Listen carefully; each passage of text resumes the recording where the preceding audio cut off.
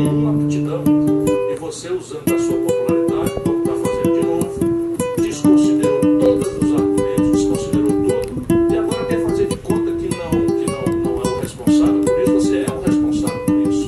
A verdade é o seguinte, o Lula e o PT não sabem o que fazer com a Dilma.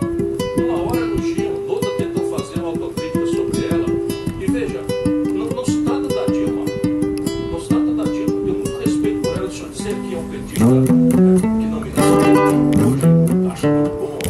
Com o Alckmin, que achou que era muito bom que o Lula tivesse sido preso para estabilizar o político. E aí.